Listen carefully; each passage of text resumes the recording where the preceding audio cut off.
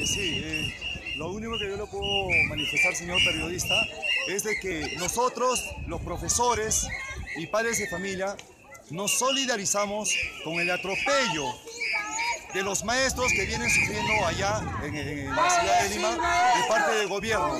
Y eso, como pueblo, nosotros mostramos nuestra solidaridad con los profesores que vienen, siendo atropellados allá en Lima. Y no es justo que la ministra de y Pasombrío honestamente no pueda sentir un poco de eh, humanidad ante esos maestros que, reclaman sus, justos derechos, este señor periodista.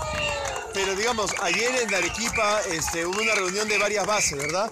Que, donde se iba a plantear la posibilidad de levantarse la huelga.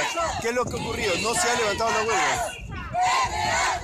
Nosotros como, como profesores nos sentimos también indignados por el proceder de Walter Andina que netamente sin consulta de bases ha tenido esas intenciones de querer, levantar la huelga y muestra ello también la insatisfacción de los maestros por habernos utilizado sin una previa consulta, ¿no? Para que nosotros podamos autorizar si se levanta o no se levanta la huelga. ¿Usted cree en todo caso que Walter Andía habría vendido la huelga?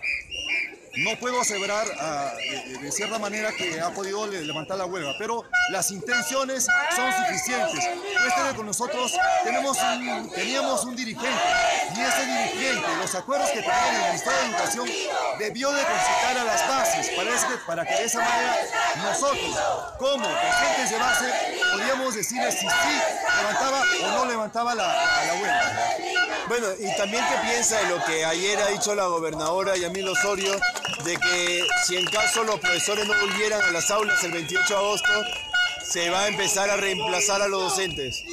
Bueno, la, gobernadora puede mencionar o ayudar lo que ella le viene a Simplemente la ministra, cuando Cusco entró a una huelga indefinida, ya tuvo ya algo de cuarenta y tantos días de no se sometieron a los descuentos ni a los despidos.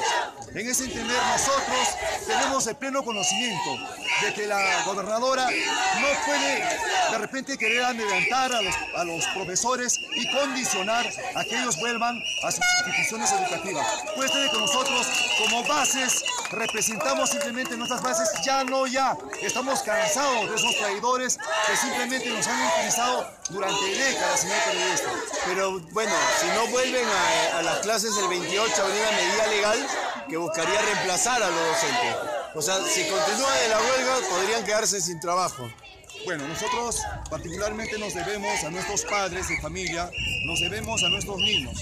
Y en primer lugar, Queremos que la prensa informe con la verdad, que el pueblo conozca la verdad en la cual nosotros los maestros estamos pasando. Es una vergüenza que mientras los políticos, los congresistas, los ministros gozan de buenos derechos, nosotros los, maestros estamos pisoteados en nuestros derechos.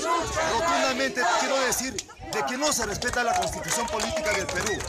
Y en ese entender, este señor periodista, quiero manifestarle que esto es el pleno respaldo de los padres de familia, quienes vienen también a respaldar a sus profesores de Arequipa y por qué no decir a los maestros de Lima que están siendo violentados por este gobierno corrupto, traidor. traidor.